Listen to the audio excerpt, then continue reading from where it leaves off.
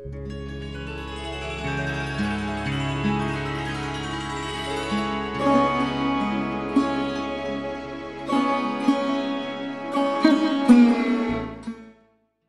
we will start talking about the integral analysis um, that we employ in fluid, uh, fluid dynamics. Uh, as I mentioned in the morning session, uh, the integral analysis may not be necessarily required for a CFD background, but it is a useful uh, analysis tool in fluid mechanics. And also as I mentioned the differential equations of uh, motion can be obtained through the integral equations of motion using some mathematical manipulations which we will do uh, in the later part of the course. So, it is a useful thing to complete in, in our opinion. So, that is what we will be doing now in this session. So, many of you will probably recall that um, we employ these Eulerian and Lagrangian approaches of uh, description of fluid motion in, in fluid dynamics. And if you talk about uh, Eulerian motion approach, what we are doing is we are referring to a control volume or an open system sort of an approach and typically this is the preferred approach in, um, in fluid mechanics.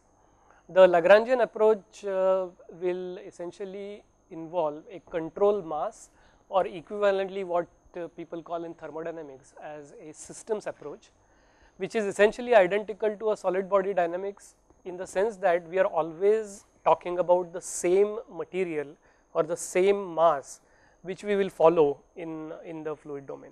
Whereas in case of an Eulerian approach what we are doing is um, we are identifying a control volume which is a region of space within the, the domain and we monitor what are what, what changes are happening because of the fluid flow in and out of that control volume. Now there are uh, two more ways you can um, classify the fluid dynamics analysis which is the integral analysis and the differential analysis. So when it comes to integral analysis we are interested really in overall transfer rates whether they are mass uh, flow in and out or momentum flow in and out or energy flow in and out of a control volume. Whereas when it goes to a differential uh, analysis we are actually interested in finding out the detailed which will be essentially point to point information about the flow field. So, uh, in case of a differential analysis we want to find out the point to point uh, variation of pressure, density, temperature etc. Whereas in the integral case we are interested to know the overall transfer rate of energy or momentum or mass in an integral control volume. Uh, in principle both Eulerian and Lagrangian approaches can be employed on both integral and um, uh, differential approaches. So, what we are probably going to do right now is uh, what you can say is an Eulerian approach on an integral analysis. So, the, the backbone or the cornerstone of the integral analysis is essentially a balance statement that we write for a control volume of uh, a finite size. So, why I am talking about a finite size control volume here is because we are dealing with an integral uh, analysis. Essentially a similar statement can be written for a control volume of an infinitesimal size when we want to obtain the governing equations of motion on a differential basis which we will do later in the in the course. But right now for an integral uh, or a finite size control volume we are going to essentially write a balance statement and this balance statement is what really that you need to know uh, in order to understand the, uh, the integral analysis. As I said this is the, the cornerstone of the integral analysis. So, the, the balance statement is actually fairly intuitive if, if you look at it. What it simply says is that the rate of accumulation of mass or momentum or energy let us say. So, let us consider mass for now. If you consider a control volume, the rate at which mass will be accumulated in that control volume will be essentially equal to the rate at which the mass is flowing into the control volume minus the rate at which the mass is flowing out of the control volume plus if at all if there is a rate of increase of mass due to some sort of a source. So, we will talk about this source little um, little later, but this balance statement essentially is a general balance statement. So, it does not have to be necessarily restricted to only mass balance and that is why I have added mass or momentum or energy. So, when it comes to a conservation of mass statement we will introduce this balance statement for the mass. When it comes to a momentum equation we will introduce this balance statement for momentum and when it comes to a conservation of energy principle we will use this balance statement for energy. But as far as the integral analysis is concerned this is it this is the, the physics of the integral analysis that we are in a position to say something about the balance of a quantity with respect to a control volume.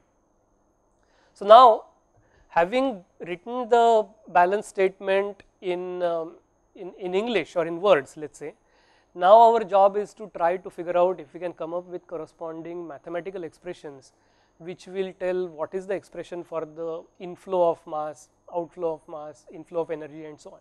So, let us begin the discussion with the, the mass balance uh, statement. If you go back here for a minute, this is entirely written in words whereas the first line here is written in symbols that is all. So, it is exactly the same statement as was written on the previous slide.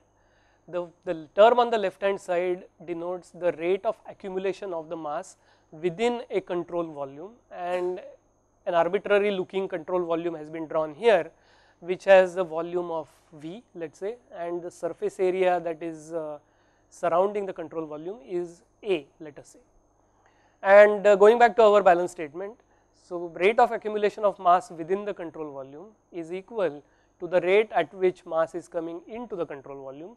So, there is a fluid flow in and out of control volume in general because of which mass of uh, fluid is coming in at some rate and similarly mass of fluid is going out at some rate. So, m dot in is the mass flow rate into the control volume minus the mass flow rate out of the control volume and remember that there was the last term here rate of increase of mass due to a source. Now, in this case the mass source that we are referring to is essentially not to be considered for most situations in fluid mechanics unless we are actually talking about a creation of a mass through a nuclear type reaction. Now, this is a very special situation. This can be a mass source or a sink by the way. So, the uh, nuclear reaction can actually create a mass or destroy a mass through the uh, Einstein's relation, but that seems to be a very very special situation and in general we are not talking about this at all when we come to standard fluid mechanics problems. So, for standard fluid mechanics problems this mass source term which will be either a positive term that is increase or decrease which is a sink term which will be because of nuclear type reactions will be assumed to be not present at all and therefore, I have really cancelled it out altogether. Now, for each of these remaining three terms the accumulation, the inflow and the outflow we will come up with mathematical expressions uh, and then put the law together. So, if you look at the first term on the left hand side that is only term on the left hand side which is the, the rate at which mass is getting accumulated in the control volume. So, it is a time rate of accumulation and that is the reason we are denoting this as a time derivative and m suffix Cv in here is the mass content within the control volume at any instant of time. So, instead of writing this as m suffix Cv I simply use an integral representation to, to denote that mass content within the CV which is simply integral over the control volume an elemental mass within the CV. So, dm is an elemental mass within the CV.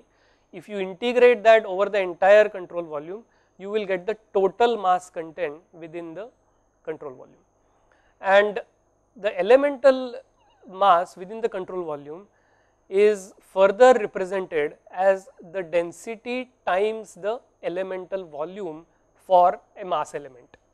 So, we know that mass is equal to uh, rho times uh, volume and therefore, the infinitesimal mass that we are talking about say here somewhere within the control volume is simply the density times the elemental volume of that small uh, elemental mass and then you integrate that over the entire control volume and therefore, this d dt of integral over the control volume rho times dv is nothing but the integral representation of the mass rate of mass accumulation within the control volume.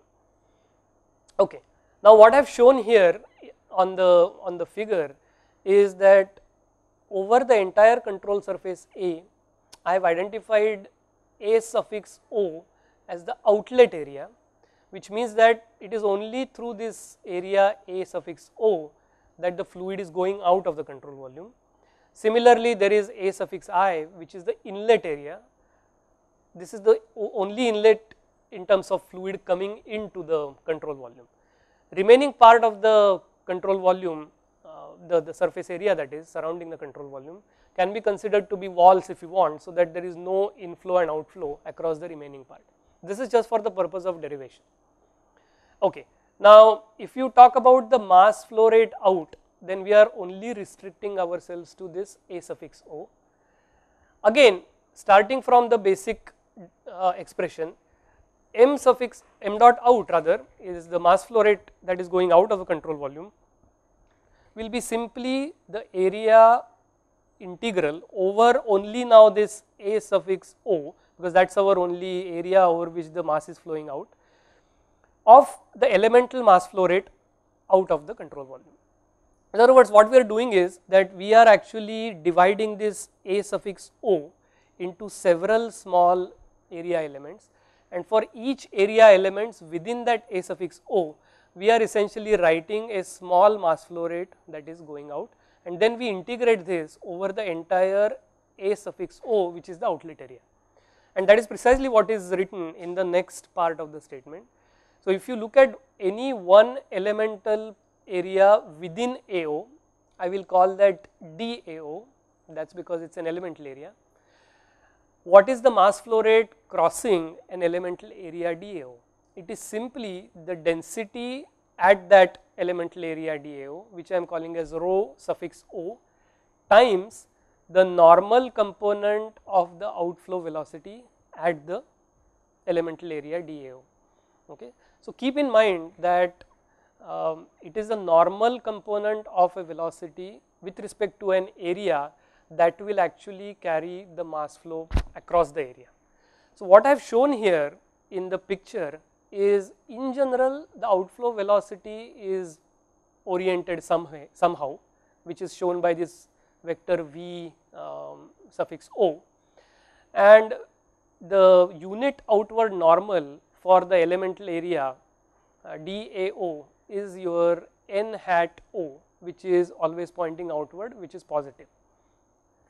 So, now if you look at this expression for the elemental mass flow rate out rho, rho suffix O times the normal component of the velocity at the elemental area outlet.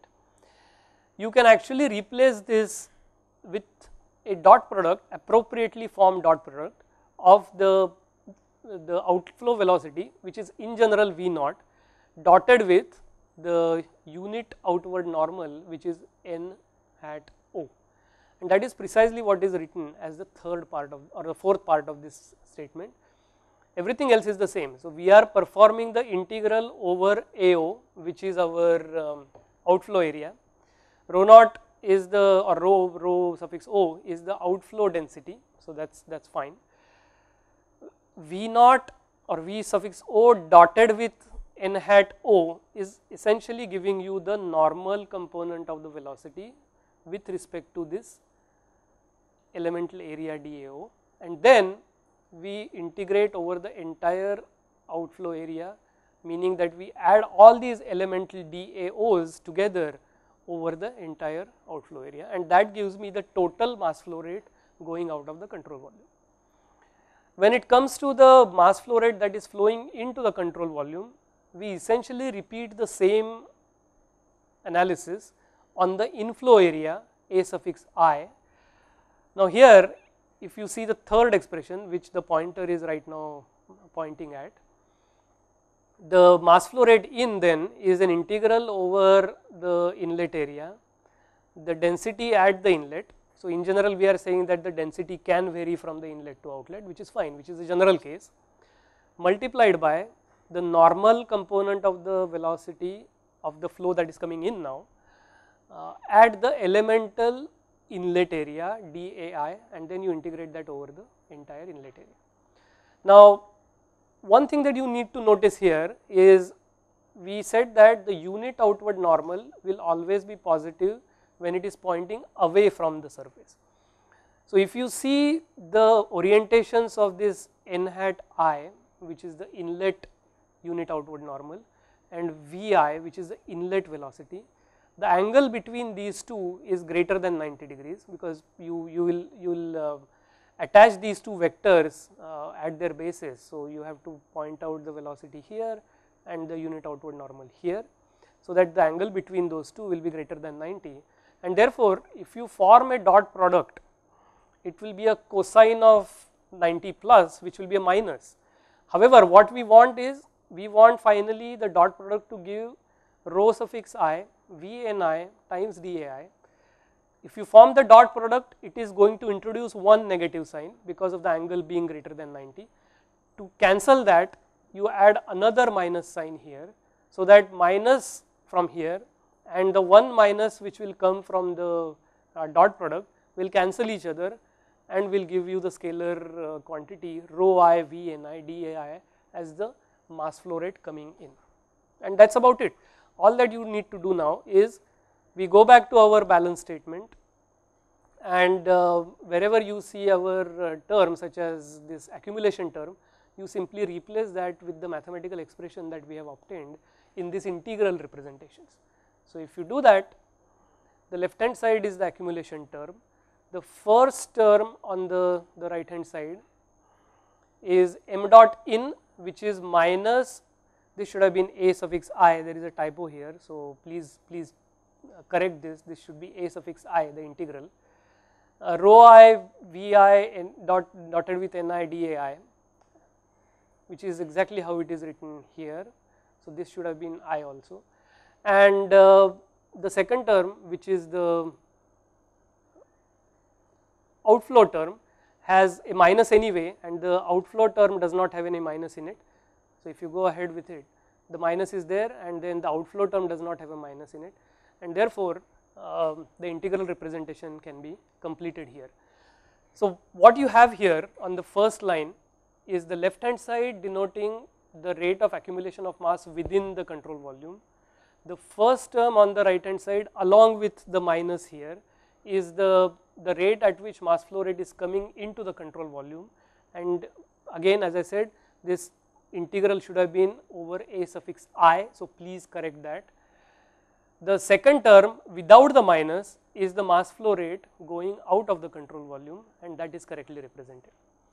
Now, what, what is usually done is that the two surface integrals on the right hand side are usually combined into one area integral and that one area integral will be denoted as the area integral over the entire control surface area.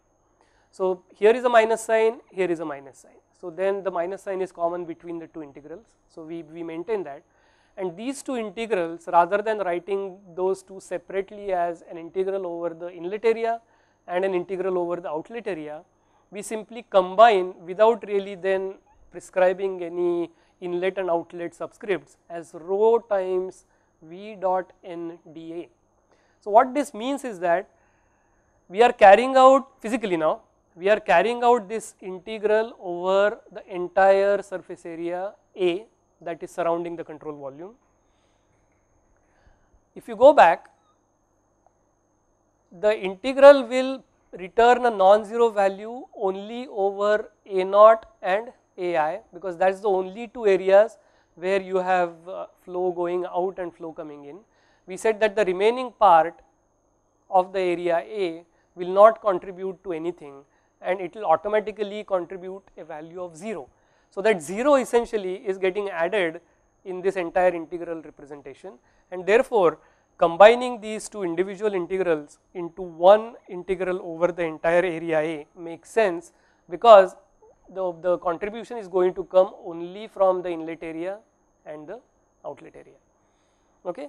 So, now if you see the standard way in which the integral uh, mass balance equation is written for a control volume is by bringing this term onto the left hand side and then writing this as d dt of the integral over Cv rho dV plus the integral over A rho times V dot NdA equal to 0 and the way to interpret these terms physically is that the, the first term on the left hand side then is still our rate of accumulation of mass within the CV and the total area integral which is the second term on the left hand side is now to be interpreted as rate of outflow minus rate of inflow. The reason is because if you go back it is still the same balance statement that we are writing only thing is that we are bringing all terms to the left hand side.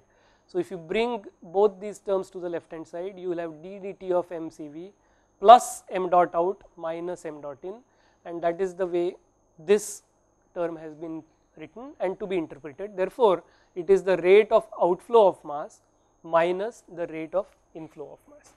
So, whatever is boxed here is the so called integral mass balance relation which on a purely physical basis simply reads that it is the rate of accumulation of mass within the control volume plus the rate of outflow of mass minus the rate of inflow of mass is equal to 0. So, if you just rearrange these terms it is pretty obvious and intuitive the mass balance statement.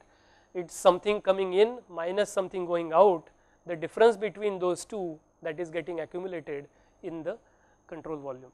So, that way it is physically very very intuitive it is just that these mathematical representations have to be slightly carefully looked at especially adding this minus sign because of the inflow area being such that the outward normal and the velocities are oriented uh, in a particular manner.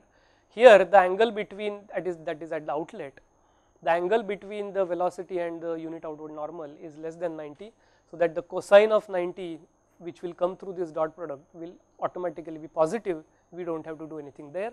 On the other hand on the uh, inlet area we need to assign a minus sign so that minus from here and minus from here uh, the dot product will return a positive value. So, what we have done is that we start with a balance statement written out in words plain English statement and then we have gone ahead to write that statement in words in terms of symbols first and then for those symbols we have come up with a mathematical representation. So, technically nothing has changed. Even if you see this particular boxed equation it is still the same balance statement that we knew earlier. It is just that the mathematical expression for each of those terms has been incorporated in there. Fine.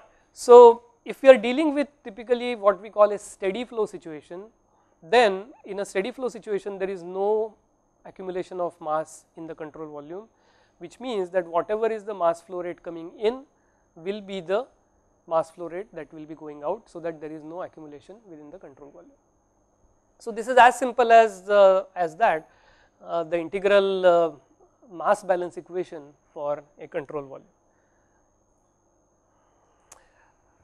Now, we want to extend the, the same treatment to a linear momentum balance for a control volume. To do this, let us begin with the linear momentum balance in one particular direction. Let it be x direction or y direction or whatever and then after having done this for a particular direction as a scalar quantity, we can generalize this as a vector quantity because as you know the linear momentum is a vector quantity. However, if we are looking at one particular direction essentially we are looking at only one component of this vector quantity. So, let us go in that fashion. So, let us let us begin with something simpler and then try to generalize it as a vector relation right. So, now going back let me for the purpose of reminding everyone we still go back to the same balance statement. Now, instead of mass we are talking about linear momentum. So, rate of accumulation of linear momentum in a control volume is equal to the rate of inflow of linear momentum in the control volume minus the rate of outflow of linear momentum from the control volume let us say plus the rate of increase of linear momentum due to a source. So, let us try to see what that means right here. So, if, if, uh, if you recall from um, basic mechanics uh, I am utilizing the, the symbol P for um, linear momentum and at the bottom of the slide here the vector representation is shown. Uh, so, the linear momentum is simply mass times velocity as we know. So, that is that is all that is written out here. Uh, we write the balance statement for um, the linear momentum. So, the left hand side here is simply the rate of accumulation of linear momentum in the control volume. The first two terms on the right hand side are those associated with the fluid flow in and out of the control volume much in the same fashion as there was a mass flow rate in and mass flow rate out in the previous discussion of the mass balance statement that we talked about. Uh, so, there is in principle nothing different there. What if at all that needs to be discussed here little bit is this source term so to say. So, the way the source term in this case can be uh, interpreted is that if there is a net force acting in whatever direction that we have chosen x, y, z etc. on the material that is contained within the control volume. Okay. So, what we are always looking at is that the control volume is isolating a certain amount of material and if on that material in the given direction of interest at the instant of interest if there is a net force acting this will actually give rise to a source of momentum that is the idea. And therefore, what is this force coming from? Or where is this force coming from? This is essentially the, the from the Newton's second law of motion that, that the force is coming from you can say. And in order for the, the source to be specified as the force you essentially treat the material inside the control volume as a free body. I hope you remember this terminology from your uh, strength of materials or solid mechanics uh, classes that we isolate in those uh, analysis if you remember uh, we isolate a certain amount of material as a free body and when we isolate a certain amount of material as a free body we have to mark all sorts of forces that are acting on that isolated material because of its interaction with the surrounding material. So, the idea is exactly the same here. What we say is that the control volume is containing and isolating a certain material and that certain material perhaps is getting acted upon by a net force in some specific direction which will give rise to a source term as far as this balance statement is concerned. Okay. So, that is about it. So, let us see how we can now put some mathematical expression for each of these terms. I have chosen to do this in the x direction. Okay. So, I am talking about the rate of accumulation of x linear momentum within the control volume that is my first term or the term on the left hand side let us say. Only now that I am adding additional subscript of x which is essentially um, the x direction and that is nothing but time rate of change of the momentum linear momentum that is in the x direction contained within the control volume. So, now you see what I am doing here inside the integral over the control volume what I have is dm which is an elemental mass and a u velocity associated with that elemental mass. The product of these two will actually give me an elemental linear momentum associated with that elemental mass dm within the control volume and this elemental linear momentum in the x direction is then integrated over the entire control volume to obtain my total x direction linear momentum within the control volume that is getting accumulated. And dm within the control volume from our previous discussion of mass balance you will remember that dm was expressed as rho multiplied by the elemental volume. So, I will simply take this same expression that dm is equal to rho times dv and substitute it for this dm suffix cv u as it is. So, u times rho times dv integrated over the entire control volume will give me the the, the x linear momentum contained within the control volume and then the time rate of change will give me how it is getting accumulated within the control volume and that is our left hand side term. In exactly the same manner as we came up with the mass flow rate in minus mass flow rate out term which let me remind you it is this right hand side of the second equation on the screen right now minus over the, the area that is surrounding the control volume rho multiplied by the velocity of the fluid dotted with the unit vector on the surface area times the elemental surface area is going to give me m dot in minus m dot out. Remember in the same manner I am now interested in p dot in the x direction in minus p dot in the x direction out which is rate at which the x linear momentum is coming in minus the rate at which the x linear momentum is going out. If you see this expression on the right hand side it is exactly the same as what we had in the case of the mass flow rates only thing is that u which is the x direction velocity is getting multiplied by the entire same expression that we had for the mass flow rates.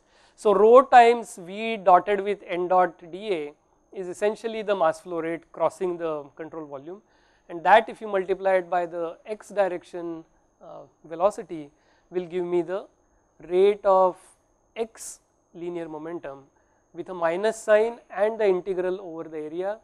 The net term is essentially interpreting as the rate at which x linear momentum comes in minus the rate at which the x linear momentum goes out. So, the analogy between this expression here and the mass balance expression here. In here it is m dot in minus m dot out.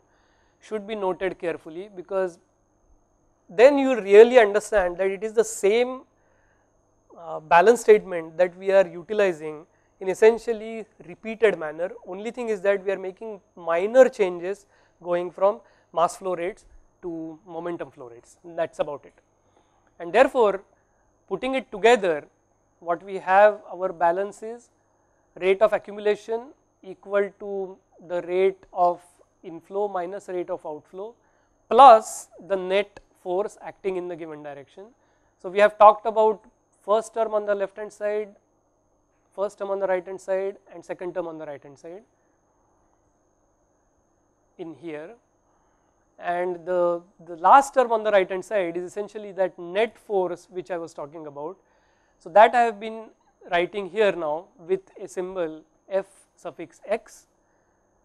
So, that is nothing but the net force which will include a surface force which is acting on the surrounding surface of the control volume and a body force which is essentially acting on the entire material contained within the control control volume on the entire material within the control volume uh, acting of course in the x direction because we are still talking about the x momentum.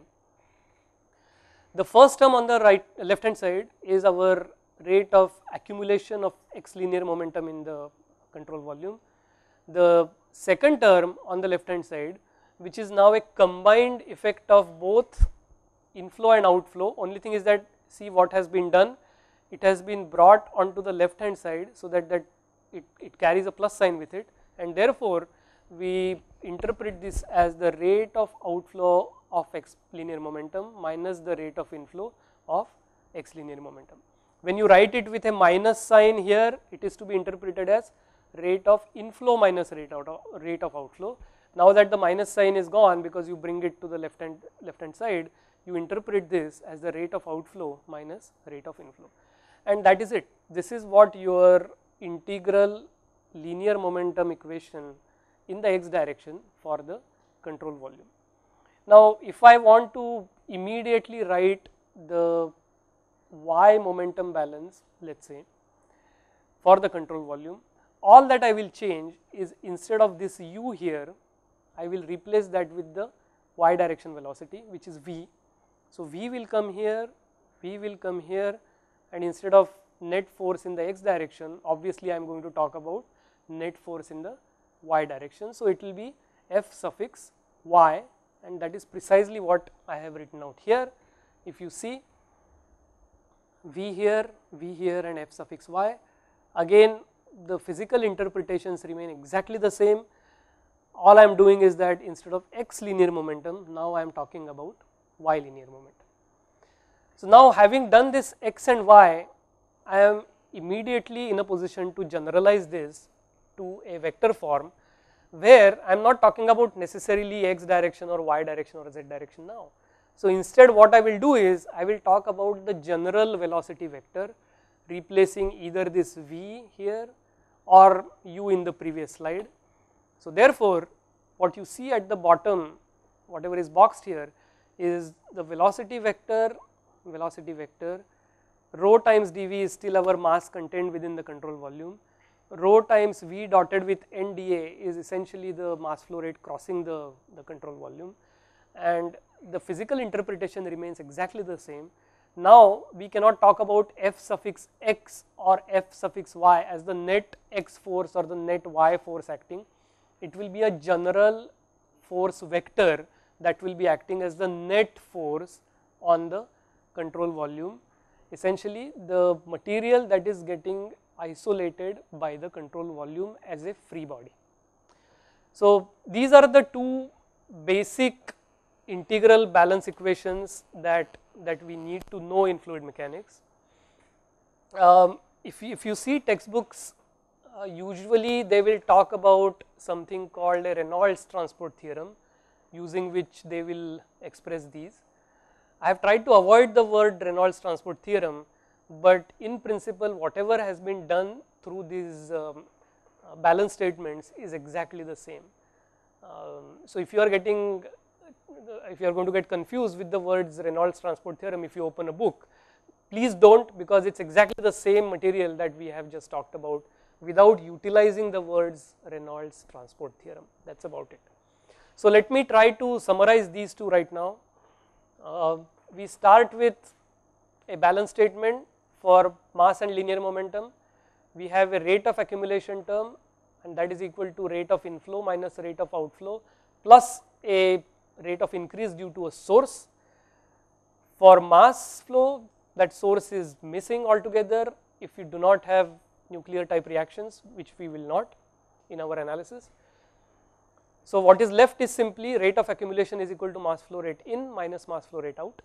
What we have done is we have expressed each of these terms through appropriate mathematical relations and we come up with what we call here in the box as our standard mass balance equation on an integral basis for a control volume.